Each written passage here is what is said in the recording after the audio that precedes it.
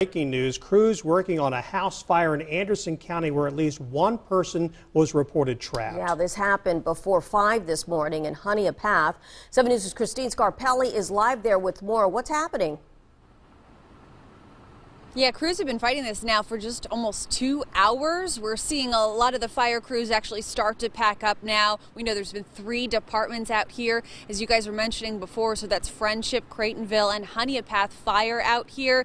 If you're trying to go down Todd Road, the 800 block of Todd Road is shut down. You can see, of course, lots of flashing lights there cannot get by those big fire trucks. There's even more of them over in the woods. That's where law enforcement around me is telling me the fire was. They say uh, we're hearing the fire is out right now, but we were also hearing that there was one person trapped inside of this fire. So no word right now on whether or not that person got out or is okay. We will continue to keep you posted. Obviously, as we hear more information about this fire, but we are seeing fire crews start to head out back to their trucks.